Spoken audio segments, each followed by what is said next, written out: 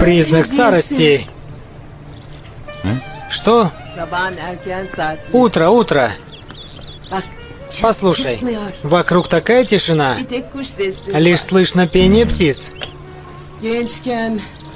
В молодости мне было трудно вставать рано утром. А сейчас просыпаюсь до наступления утра. Старею.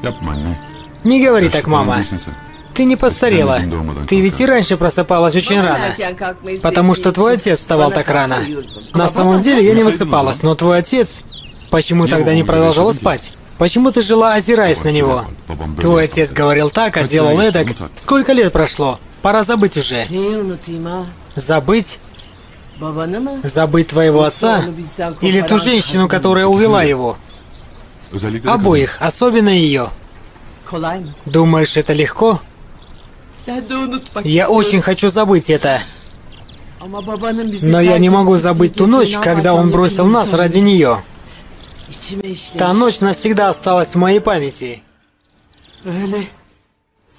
Это было ужасно. И никогда не забудется, сынок. Та ночь была черной ночью, сынок.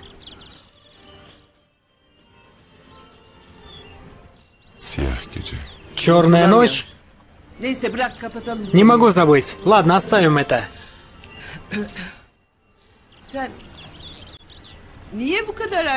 Почему ты так рано приехал сегодня?